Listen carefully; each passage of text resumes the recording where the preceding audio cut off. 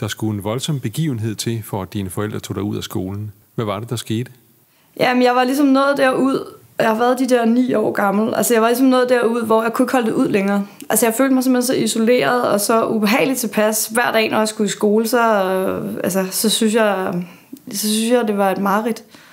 Og jeg var så ked af det, øh, at jeg øh, havde simpelthen besluttet mig for, at øh, jeg ville begå selvmord. Jeg var kun ni år gammel. Og jeg ved simpelthen til dato ikke, hvordan jeg havde fundet ud af, at man kunne hænge sig. Men altså, jeg havde en plan. Jeg ville købe et ræb, og så havde vi sådan et fyrrum med sådan nogle rør, øh, som var under trappen i vores hus. Og så ville jeg simpelthen øh, hænge ræbet op der, og så ville jeg hoppe op på en stol, og så ville jeg sparke stolen væk, og så ville jeg hænge der og dingle. Øhm, fordi jeg ville ikke i skole mere. Jeg ville ikke i skole mere. Så fik jeg så øh, den øh, geniale plan oven i planen, at, eller jeg tror i virkeligheden bare, at jeg brød sammen under presset. Så derfor fortalte jeg min mor, at det var planen.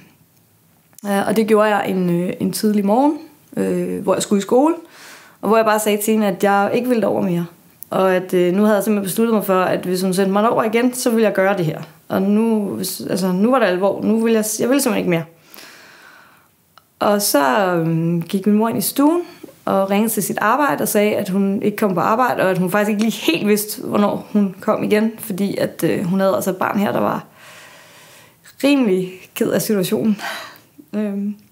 Og så var jeg faktisk ikke, som jeg husker det, og det er jeg ret sikker på er øh, rigtigt, så var jeg simpelthen ikke i skole mere. Så kom jeg ikke i den klasse mere.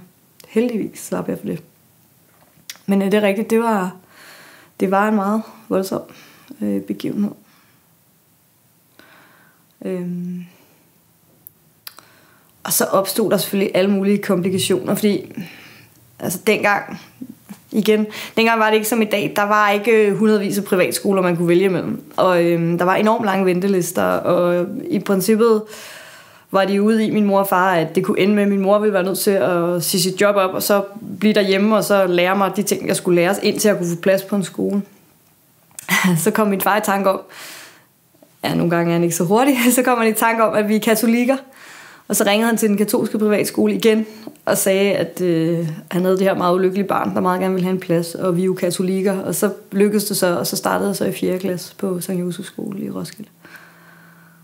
Øhm, og var dødræd.